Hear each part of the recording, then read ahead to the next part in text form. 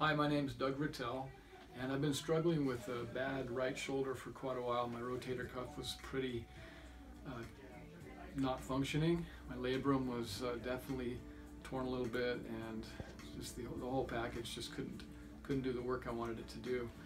Um, I have a good home gym, and I was really not being able to work out very well because half of me just wasn't going. So I came into Rich. He had a good plan, and uh, I added my pieces at home with what he was doing here at Blue Chip.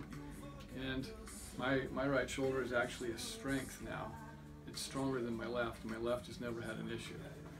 And I don't know why that is, but maybe it's just happy. I don't know. But I'm very happy. And I'm really grateful to Rich a lot.